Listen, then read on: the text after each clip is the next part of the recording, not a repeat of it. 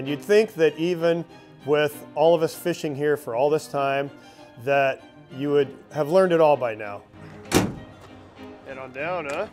But what I really love about this job is that every day you leave the dock, it's different.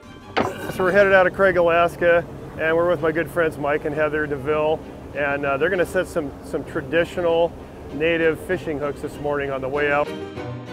The Tlingits, and I always say that wrong, and Heather chews me out for it. He calls us Tlingits, and it's linget. Linget. You know, the natives here in Southeast have been using those traditional hooks for 10,000 years to catch halibut here. This is yew wood and this is yellow cedar. Currently we'll set two together so they compete against each other. You each are gonna set eagle and sea monster Cool. and against each other. You and dad, so. Shindakut. Jindagut. Jindakut. All right.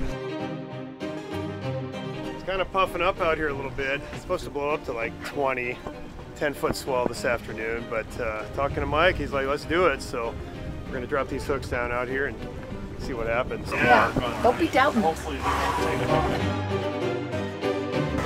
So you drop this down first, and then the hook is not far behind it, and then another rock sinker, and then you continue to let line out, and then your line up to the surface. All right, here we go. Don't screw up, Rob.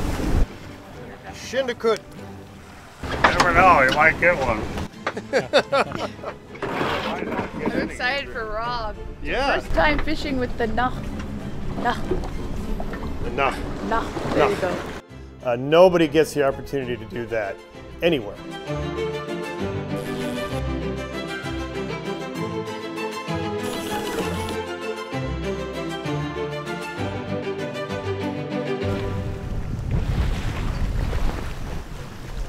Pulling up alongside of our halibut set here and the buoy's jumping up and down. We can't tell if it's snagged on the bottom or if there's a giant halibut on there, but we're gonna know shortly.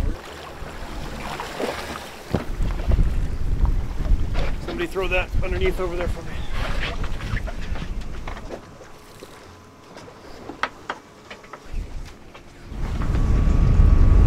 Strip the bait on that one. Yep, strip the bait off of that one.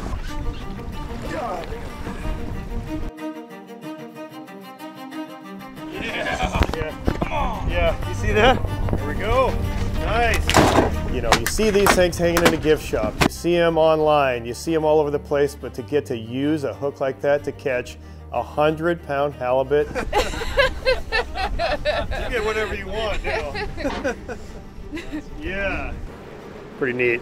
Pretty special. And I've been fishing for 30 years professionally. It's in uh, definitely the top five all time for me.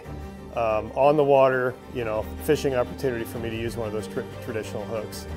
And uh, just a moment that I will cherish for the rest of my days.